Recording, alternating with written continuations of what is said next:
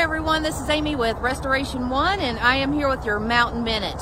It's been quite cold here in Colorado over the weekend. We had a lot of snow, most of it is already melted, but it's still only 18 degrees this morning all the time in newspaper reports, I'm sure you see that a customer or a homeowner has been displaced due to a fire or disaster. Imagine being left out in the cold because you had a house fire or a disaster and no loss of use, and now you can no longer live in your home until it's repaired.